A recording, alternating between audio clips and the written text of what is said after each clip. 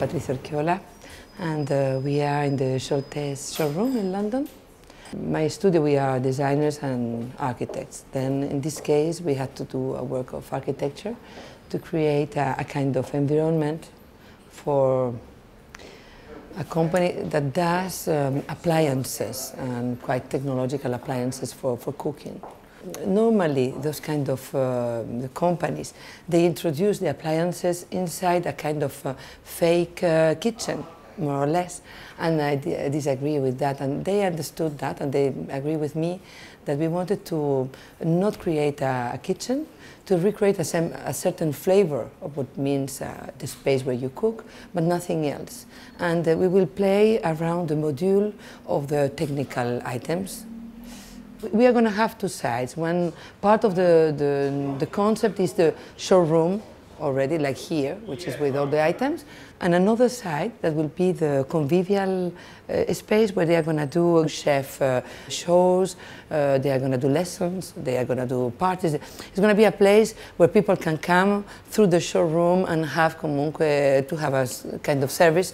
And uh, me, I still believe in that uh, kitchen needs to to be a mix of um, elements which are very sophisticated because perhaps you need echo because you want to have a certain kind of uh, fire but you don't mind about other things. And you, possibly it's in a small place it's living with other elements we have in home I think we have to, to break this argument of kitchens or the luxury, luxury kitchens, big and for me very masculine, I say it in a funny way, or, or those kitchens which they try to be so nice but they are less big but then they are less important. Then that, that dimensional argument for me is uh, terrible, it's impossible. And I still think many of the materials that we live, they don't need to be marbles and they don't need to be super stone. So I don't think so too. We have uh, the steel, which is, yeah, the, the, items are mm, really interesting. Then we have to have materials good to clean, and, but there are many other arguments for me. And then, for example, you live sometimes with someone else, that you are little, and the other one is tall, and we have to have more adaptable mm, things. I, I still think that the, there's a lot of work to do. They, they asked us in the studio in the last uh, 10 years of the studio to work in kitchens, and I I didn't find a briefing that was interesting. I had the luck before having my studio to work for Piero Lissoni in the moment he was creating Boffi. And it's been interesting because it was the, the beginning of that kind of research and I was interested in that moment. Now I think I think I, we need no so other conversations. I, we wait for them, possibly to approach the kitchen through Scholtès, through a company that they only had to, to propose the appliances was a good point of view. And here, here we are. That's uh, the room for convivial situations. We are going to be proposing different services. And it's what I think these kind of companies that they do appliances. Um, normally, or you go in a place where they sell in kitchens, or you can go in a place where they can show you to you the appliances, which is, I think, not enough. Then to, to propose eco services, I think is, the, um, is what we are going to consume in future. But for time, I'm, I'm, still thinking that we, we have to propose situations not so big. I have a friend of me that I, I, I was in his apartment, and he had a kitchen, really, really simple. But he had um, the, uh, the frigo for the wine. And they said, oh, what?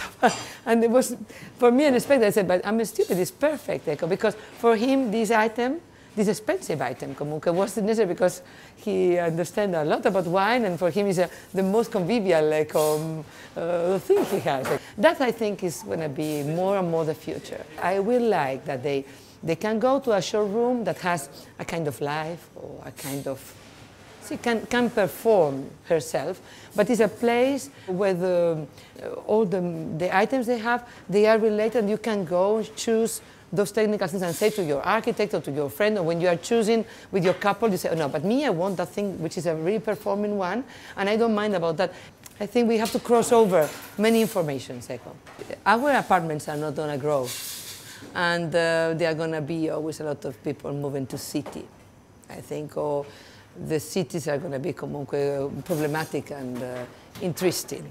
In the city sense, they, the problem is always the space Then for me, to work on, on quality, only thinking about um, introducing the, the, idea of dimension, I think is, is banal. Then we have to propose more solutions, oh, you know, they are different persons in, in, in the family. Or many persons which, which, you know, they, they live alone, but the, the Saturday or so Friday they, they, or Sunday they, they like to have the friends and the, they cook all, they eat all around the, the place for cooking. They, they are conviv- they still be in convivial places, echo, the kitchens. Then we have to take care, echo. But the dimensions I don't think big. I don't, I don't think in big, echo, for kitchen me. For me, it's not, it's not a monumental place. It's, the, it's a place where you can be together in some way.